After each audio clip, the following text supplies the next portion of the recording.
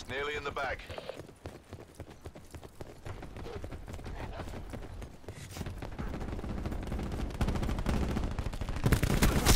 Wasted torque.